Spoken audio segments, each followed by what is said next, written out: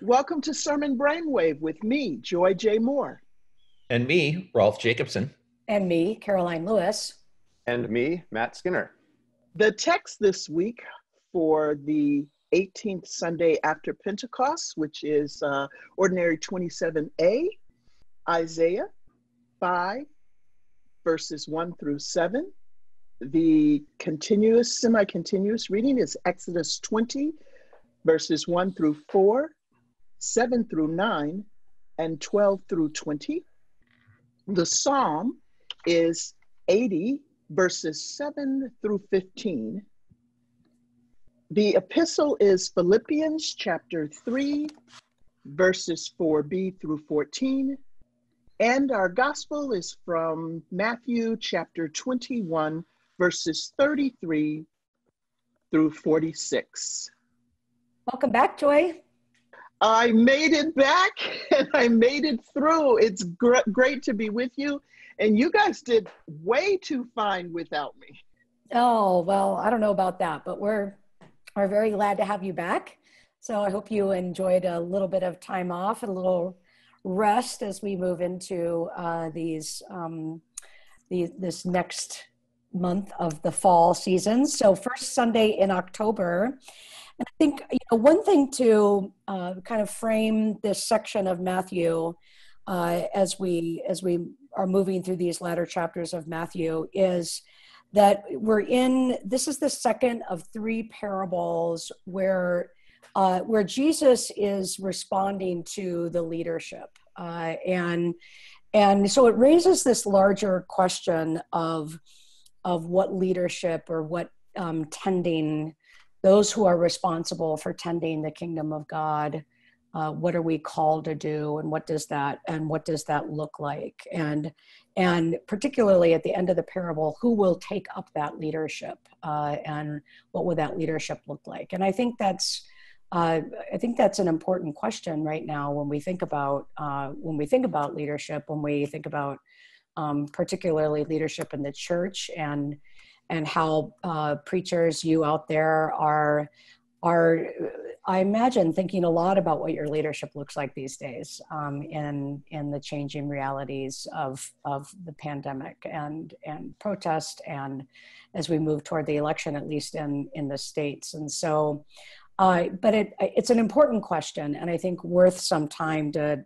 That's one possible direction I would take, and it's particularly when you get to verse 41 and uh, and you know who are going to be those other tenants? And uh, I, I i i do wonder sometimes you know if the persons listening to our sermons also imagine themselves as as leaders or as those who tend god's kingdom um, and that there's not how is it that a preacher can uh, invite uh, invite all of us to think about that responsibility and not just it's not just for designated leaders in the church or it's not just for you know designated leaders either synodically or uh, in adjudicatory or nationally or whatever in the church but this this um, wider responsibility for what that what that means so one direction i had thought about I really appreciate that, Karoline. Uh, the perspective I was looking at was asking a similar question um, and I framed that question in the question of what are the fruits of the kingdom?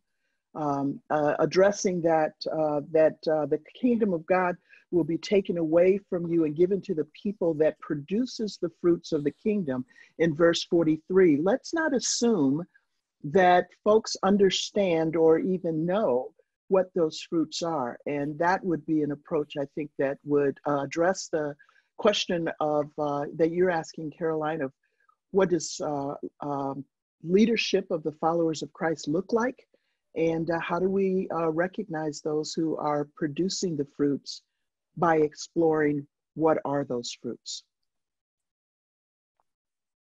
Others? It's good you came back just in time for these parables, Joy, because it just gets worse after this one. Um, as as Jesus hangs out in Jerusalem in, in Matthew's gospel. Yeah, I think we have to read this parable in in light of the context of the rest of the gospel, which has had much to say about producing fruit, all the way back to the Sermon on the Mount. um, some descriptions of what that looks like in terms of the fruit that are provided to those in the Beatitudes, right? That that um, they will be the ones who receive the kingdom of God. That they're they'll, they will be satisfied. There's all these ways Jesus pronounces blessing, which could be synonymous with fruit for for those kinds of people. He's announced a certain kind of preferential option already. It's also a gospel where he's been unrelentingly negative toward religious leadership and said things like, you know, it's not the healthy who need a physician. I haven't come for you people. I've come for those who are are sick. And in a lot of ways, this parable pulls all that together, and it's the most violent of all of the three versions of this parable. It's the most disturbing. It's got the the most alarming history of anti-Jewish interpretation of all three synoptic accounts of this parable. So I think we need to say, first of all, to a preacher, like this is a hard text and this is a disturbing text, and you're going to be tempted to find ways to re engineer it to make it more palatable. But this is a really angry parable about bad religion or about bad religious leadership. And so I would say, even, you know, I'd take the focus away a bit from leadership and just talk about religion, which we all participate in which we all generate, sometimes by choice, sometimes because we have no other options. And just take a good hard look at how our religious practices or institutions get caught in um, ways that are not fruitful or non-fruit producing, you know, whatever that looks like. But it's a chance to have some real honest conversations about why is Jesus so mad here? Uh, and he's mad because there's something about this kind of religion that is uh, fruitless. Well, I think too, it uh, the the I think one of the ways in which yes, it's a really difficult parable, and one of the ways that um, we could kind of wiggle out of that or make it a little bit more palatable is is a kind of us versus them sort of uh, reality that this is, is you know this is uh, which have which of course leads to some of the uh, problems in in the history of interpretation that you're talking about matt in terms of of uh, contributing to anti-semitism. So it's really easy to say well i'm not that kind of leader or uh, that you know jesus is just talking about you know the bad leaders back then. And um, and that's one way that's one really really convenient way to wiggle out of and not and not recognize the way in which that that lens is also cast on yourself. And so i think you're uh, you're pointing us to the direction of religion and how is it that we tend religious practices and how is it that we tend religiosity could be a helpful way for could be a helpful way for for present day leaders and present day persons tending the kingdom of god uh, to say yeah where where is it that i'm not bearing that fruit um, and having a, a uh, hard look at that. The um, one of the things I find interesting about these this series of passages um, is first of all, it's set in the temple. So Jesus says, "Enter Jerusalem already." You know, we get this at the end of our church year instead of uh, like right before the Passion story, uh, which I think changes it. Um, and then all these different groups of uh, first century Judaism, uh, uh, right, of uh, the Judaism of Jesus' day come to him. Um, the, the first set of parables is uh, directed to the chief priests and elders. Um, and so I think that's important. And then at the end here, it says the chief priests and Pharisees. Then uh, the next will be in a couple weeks the Pharisees and Herodians together, which is interesting. Then it skips our the lectionary skips the one about the Sadducees, and then finally a scribes. So it's um, all of the different groups are coming to him, and it seems to me that his that uh, the, the the critique Jesus has for each of them is is different. Um, I'm not sure Jesus is angry. Uh, it's interesting how you have to we always have to supply the emotions to biblical text, but he certainly uh, it's certainly a hostile. Uh, but what about the parable itself? We haven't really talked about the um, the parable itself about th- that the um, the owner sends his son finally uh, t- to the disobedient um, vineyard workers? Oh, Rolf, I wish you hadn't have asked that question. um, and uh, I, I, was I've been thinking about this since Matt was speaking, and um, uh, the the reason that uh, I, I, I say it uh, justly uh, um, uh, in in humor um, is that one of the ways that this text has often been preached to avoid really dealing with um, what we've been talking about is by focusing on Jesus. And so when I was reading this text and thinking about our podcast, I so wanted to play with this idea of it's always about God and, and what is it saying? And let's talk about the stone that the builders rejected, and let's talk about um, all of the analogies that have been used with the parable. And I caught myself, and I'm really putting it in the context not just of the text, but also of the context of this moment. And Rolf, you just brought that up again when you started naming who's being addressed the, um, the uh, Pharisees, the Herodians, the uh, scribes, the, uh, the, the various groups. And that's exactly where we are today. We have labeled ourselves so that we have an in group and an out group? And is it possible that we are missing that what is going on here is for us to take advantage of the cultural moment and call ourselves to accountability that these might be the words, that this metaphor might be the words that um, we need to hear for ourselves. Having said that, I'm going to turn back for us to discuss Rolf's question because it's a great question. We haven't talked about what that metaphor, what that parable actually is, but I definitely wanted to put it in that context. So thanks for letting me add that. I think the specificity of who he's talking to here is really important for answering that question, but also what you were talking about, Joy. I mean, he's in verse 23, this is the chief priests and the elders. I mean, we're talking about the Jerusalem elite that are the the audience. So it's this is not a, a, parable or a sermon to the masses or to all Israel necessarily.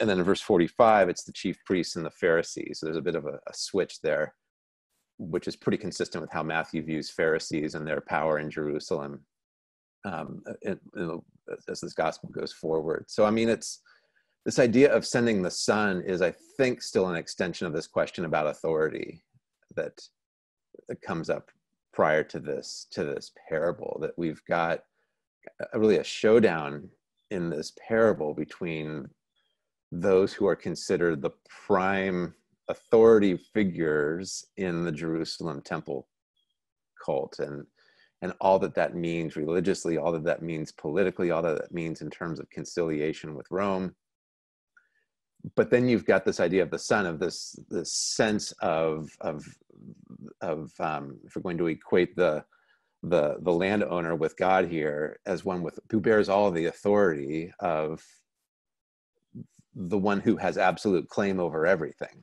Um, if I can you know use that language here to talk about God. So there is a there's a reckoning that's going on here that gets at the heart of how do we where does religious authority come from? Like what's what is the role of a human institution in that? And where do we discern god speaking for god's self in the midst of these kinds of things? I i, I have two, uh, i have two things to say uh, directly about uh, the passage. Uh, one uh, one is that the most violent reaction the, the most violent verse in the parable is the reaction of the chief priests and elders it's not Jesus himself.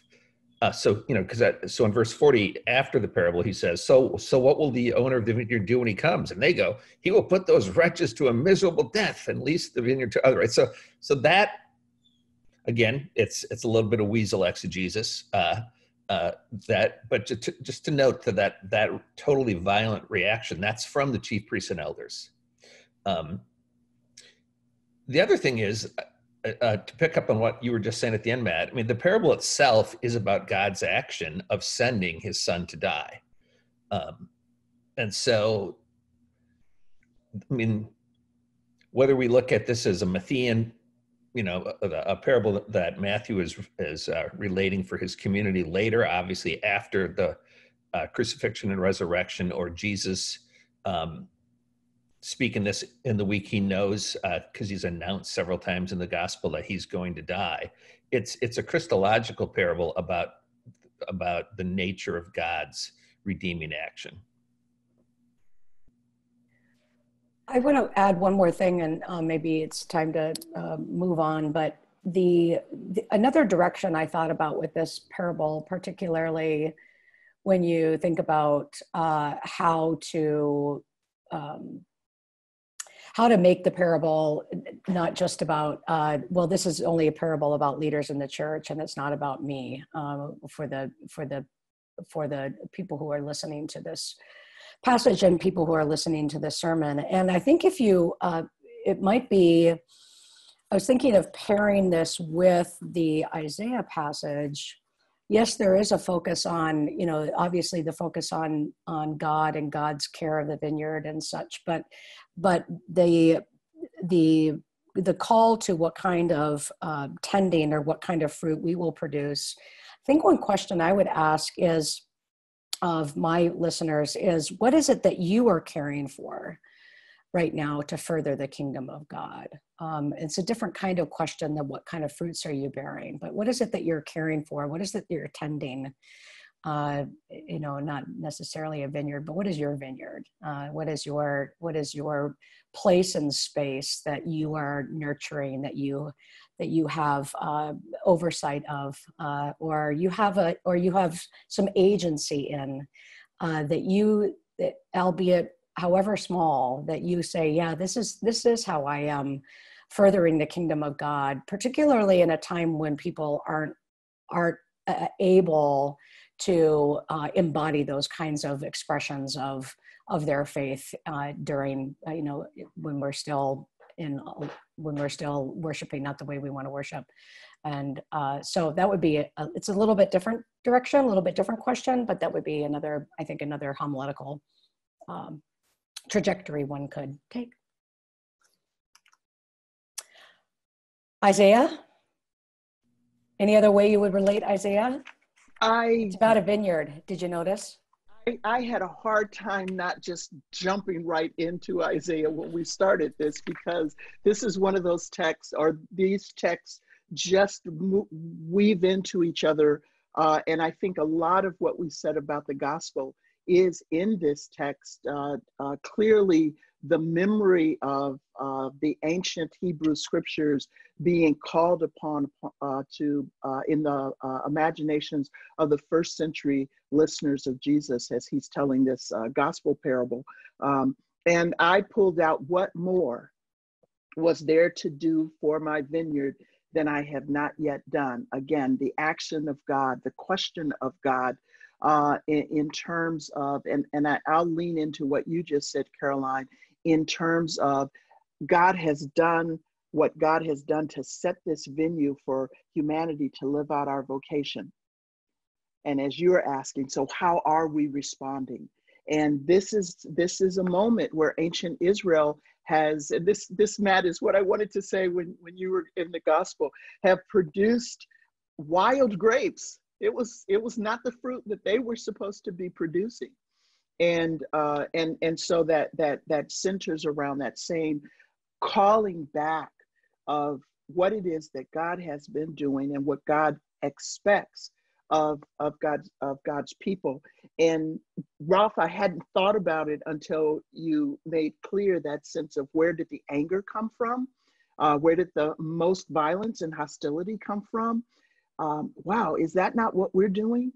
You know, here's a text where God is calling to God's people, saying, you know, I've set this up for you to offer good good grapes, good fruit, and and all I'm getting from you is wildness. And and so Rolf, for you to note that the most hostility is coming from God's people might invite us to read uh, even this Isaiah text with that same lens. Most of the wildness usually does come from Rolf, actually. That's right. I'm the wild one. You are the wild one.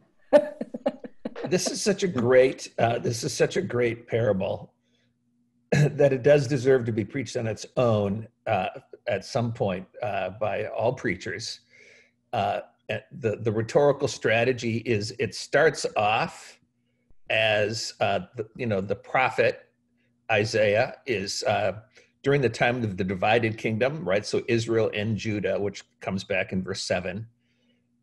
He starts off by singing a love song for my beloved, and so then you and then he's using if you if you look at the Song of Songs, this uh, the imagery of plants for the beloved, uh, uh, you know, agricultural imagery for the beloved is kind of strange in our uh, in our world, although the, although the commentary on the website uh, does find a couple analogs uh, in our culture, but it's this is the normal language how people talked about their beloved, and so you, it starts off by thinking it's just about the beloved, but then and then it invites the people to judge between me and the vineyard, sort of similar, I guess, to the way Jesus asks his audience to to say, well, what should the owner do? But uh, but then at a certain point it changes and you realize oh no this is god because it's you know um, i will command the, the, clouds that they not rain upon it. Well, obviously only god can do that. So then it, it so it draws the people in through this rhetorical strategy and then like a lot of parables right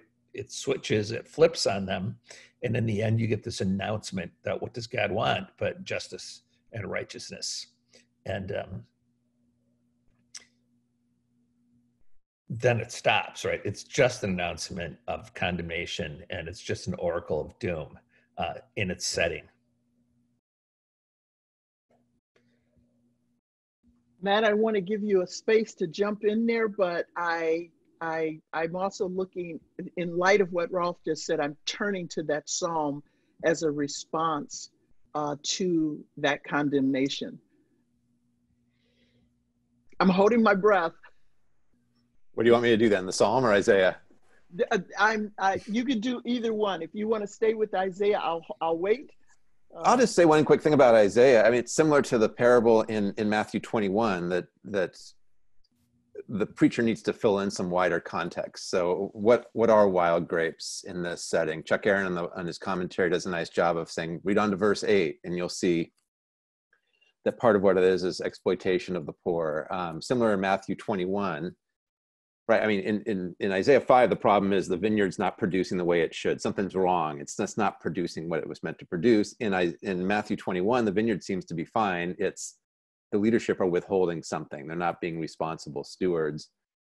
But then we have to ask the question what is that? So that people don't hear bearing fruit as i really think i should be nicer to my neighbor or i should probably you know rake their leaves as well as my own. I mean things that are yeah important but um there's really weighty stuff going on in here. The problem with the chief priests and the elders in Matthew is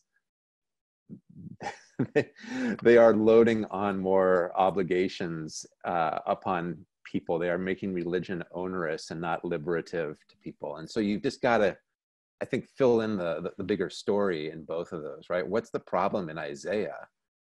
This gets at the pathos of that, but the preacher has to help define that. And if yeah, if you're looking for good news in either one of these passages, I suppose you do have to run to the Psalm um, for some for some help there, perhaps. Or to that God never totally gives up, right, and lets things get overrun without moving toward restoration. Or to call for that, uh, um, uh, uh, to use Karoline's move uh, liturgically uh, as a prayer. Restore us if if we actually if the preacher actually takes the time to name the reality that either the old testament or the new testament parable is describing the response is to hear it to acknowledge it and to say we need your face to shine on us god. We need you to restore us in order for us to produce what you are asking us to produce it's easy to vilify the chief priests and the scribes as these horrible people, but they're they're the religious elite. They're the best of the best, right? If they can't get it right, why should I expect that I'm able to? Um, so you need a God who's going to restore. I just, if there's any good news in these three passages, it's only in Psalm 80, and it's only in the belief that God might yet um, do something that involves me. well, I, I think the good news in the uh, in the Matthew parable is that God sends the Son, uh, which is the stone that's rejected, that becomes the cornerstone. That seems like that's the fundamental good news of the Christian proclamation. Amen. That's pretty yeah, good news. How do I know it includes me? And that's in that parable. Well,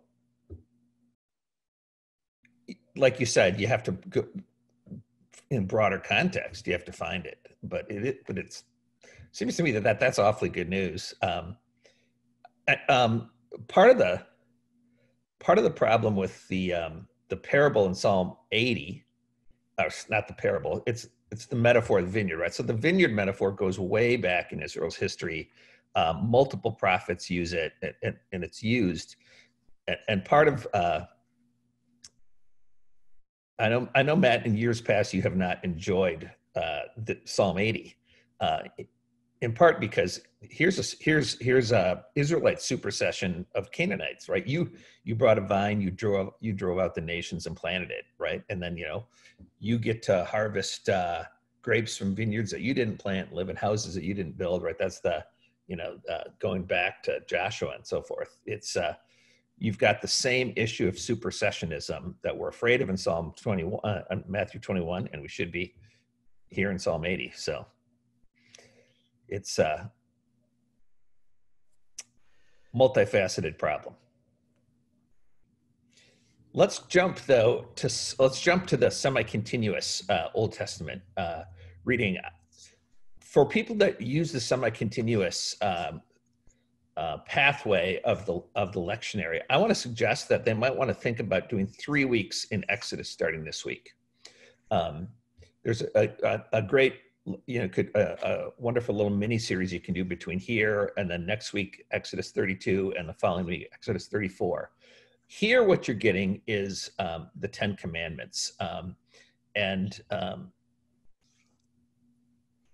I, have taught for many years uh, on the Ten Commandments in congregations and at the seminary. And one of the most interesting things is I ask people, when's the last time, I ask the adults, when's the last time you studied the Ten Commandments? And one of the answers I often get in the Lutheran churches, I haven't studied them since I was a teenage confirmation student studying the small catechism, uh, which is interesting that we teach the Ten Commandments to children, even though they're addressed to adults, right? You shall not murder, you shall not commit adultery, sort of adult sins and so it's a chance to talk about um, the goodness um, of the free life that God is offering the people. That these are, as my uh, beloved Dr. Father uh, of blessed memory talked about, that this is what freedom looks like. They've been, uh, the Israelites have been freed from oppression, and now God is giving them uh, commandments, uh, the, the gift of a gracious law to show them how free people live in relationship with God and relationship with one another. Yeah, and I think I, I think the the first question uh, and the commentary really is the summary of it, uh, and it and like you said, uh, Rolf, it you know the way in which we so individualize the commandments and and make sure that you know we're obeying them and and as these rules and laws that you have to follow. And just by that that question that it seems like we forget all the time when it comes to the ten commandments but that question of what does it mean to belong to a community? Uh, it's not just about you uh, it's about the good of your neighbor and and it's about staying in relationship with god. And so the way that she uh, vanessa lovelace cast that in and that part of the, the, this wider theme of belonging and belonging um, comes with responsibilities and it comes with accountability. And uh, and so I, it's it really is extraordinary how often when we you know, it comes to the Ten Commandments that we have to have that reminder that this is about what is what does it look like to belong to a community and uh, and and I think that could have some interesting resonances right now when uh, when there's a lot of uh, discussion around what what do I do? Uh, am I how am I how am I going to tend my neighbor? Am I going to wear a mask and not wear a mask? Uh, I think that I mean this is sort of the subterranean theme of that. What does it mean to belong to a community? It's not just about you, uh, and there and and also how you act out how you are with your neighbor, um, your tending of that relationship with your neighbor is a direct uh, is a direct uh, uh, continuation or expression of your relationship with God. So you have the first three, you know, first three commandments about that maintaining that relationship with God, and then you know out to the neighbor. So it's you know you're we don't we don't talk about uh, we don't talk about uh, being kind to your neighbor or how you are with your neighbor or how you are in community uh, it, it cannot be talked about without going back to how does this actually express what your relationship with God is. And I think that would be a worthwhile sermon. And I know we're talking uh, at length about this one, but um, a few years ago, one of my students shared that um, they were taught to think of the commandments uh, as what a community of that is, is free has the freedom to do. And um, in, in, light of having experienced depression and, and been uh, uh, enslaved, they now have the freedom to trust their heritage, which was the problem for why they got in, in, in enslaved in the first place. Honor your heritage, honor your father and mother, that your days may be long has to do with not just um, asking for your individual life, but your communal life, Karoline, as you were saying, my people, their heritage can be affirmed to affirm the life of the community. Don't murder, don't lie, don't, don't steal. Um, um, I have the freedom to trust that God will provide and I don't have to covet or take what is someone else. I have the freedom to look at uh, each of the commandments in a positive way as opposed to just looking at as i can't i can't i can't so um, just um, I, I just that that's just an exciting way for me to look at that that that text uh, particularly for, for folks who were taught it as a rule when they were a child. How do i come back to it? So we talked too long. How about um, the best quick things your best quick word on Philippians 3?